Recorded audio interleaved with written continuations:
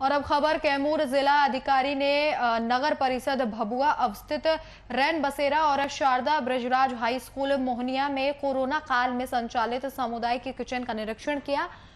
Covid संक्रमण से भर्ती हुए मरीजों को कम्युनिटी किचन के माध्यम से दोनों समय का भोजन उपलब्ध कराया जा रहा है, जिसमें जिला पदाधिकारी द्वारा निरीक्षण के कड़ी में भोजन की क्वालिटी साफ़ सफ़ाई का अवलोकन किया गया। इसके साथ ही निर्देश दिए गए कि लोगों को कोविड प्रोटोकॉल का पालन करते हुए अच्छी गुणवत्ता के साथ ताज़ा भोजन ही खिलाया जाए। निरीक्षण के समय उप विकास आयुक्त जिला आपूर्ति पदाधिकारी कैमूर संबंधित अनुमंडल पदाधिकारी और अन्य उपस्थित रहे।